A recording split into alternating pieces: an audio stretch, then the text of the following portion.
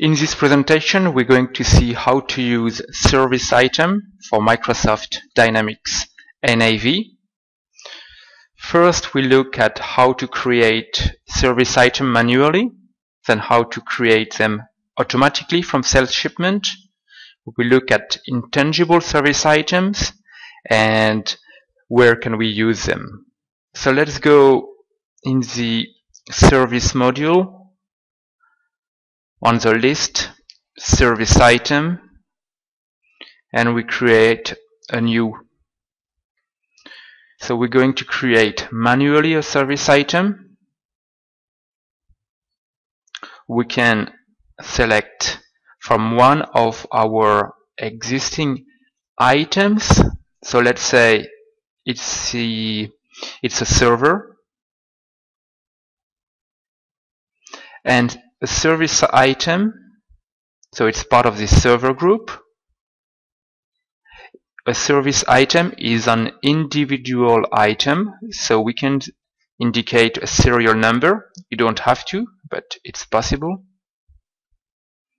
Let's fill some of the information, so the response time, priority,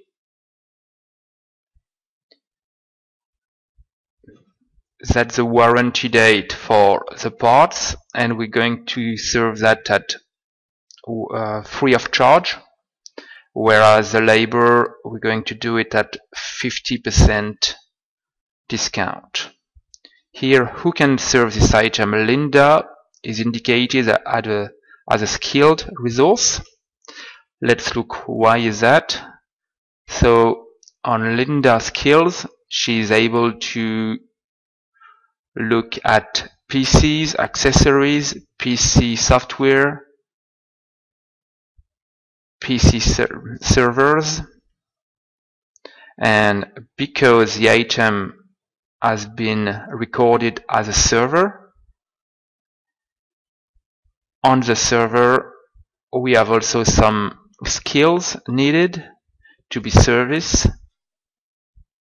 And because Linda has all the skills required, system tells us she is the one that could take care of that. We can indicate a customer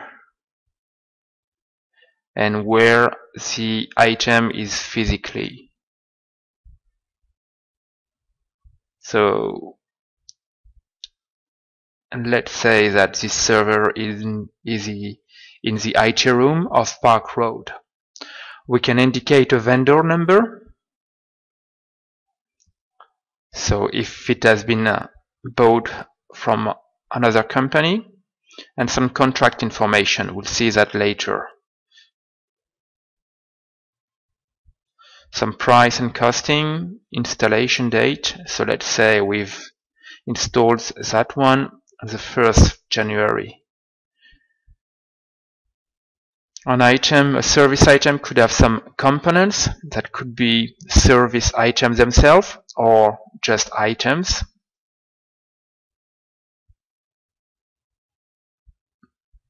And we could have some indication on how to troubleshoot that item.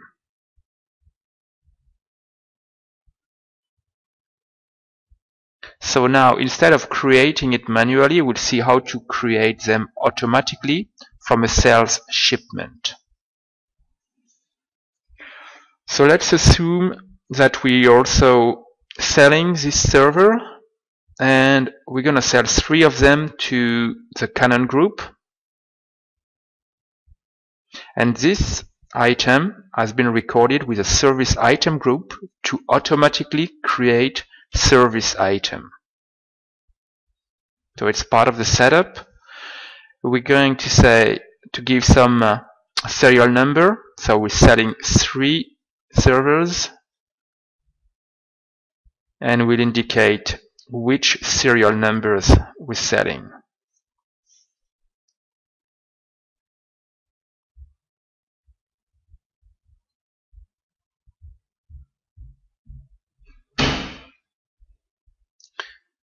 Okay, three serial numbers. Good, and now we can post the shipment.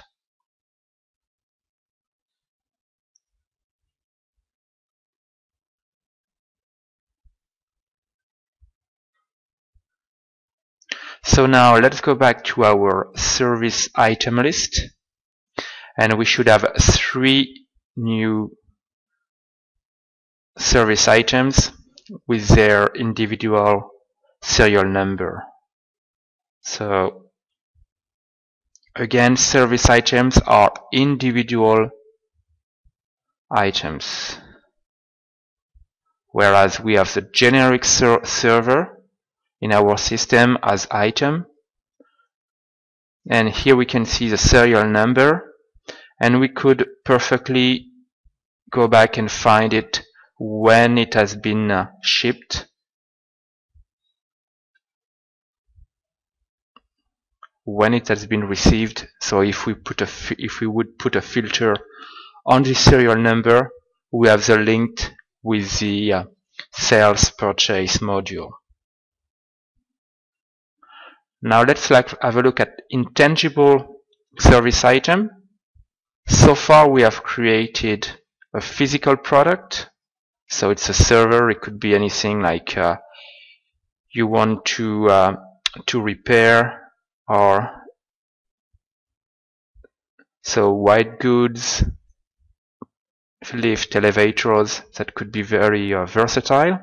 But we could use also service item for intangible intangible services. So let's say we have a a service for hotline.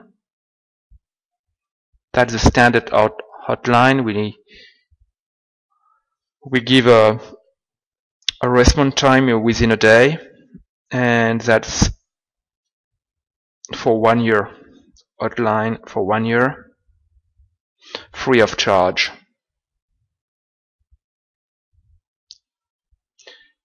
And let's create another intangible service item that would be pretty much the same with but with a gold service that give you a better response time.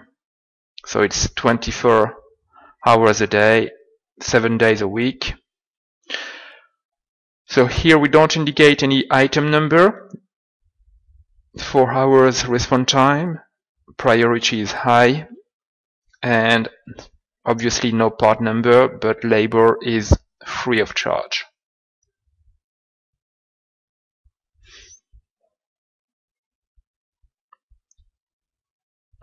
And so that could be included. We're going to see that in a contract. So we can indicate a default value. So far for a contract, we're supposed to sell that at $1,000. So let's see where we can use service items now. As we started to see, we can use service items in contracts. So this one has a contract already. We can navigate on it, see the full contract that has several service items. So here we can indicate also some service period. So every three months we need to do some preventive maintenance on that one.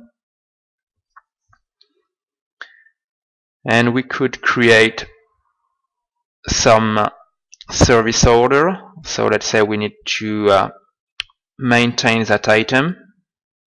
Or you could also create some service order. So it's like a repair if we've got a if we have a call from uh, our customer we indicate the customer we can say his particular location and here we have a list of what we uh, service for him indication on how to uh, repair that and so on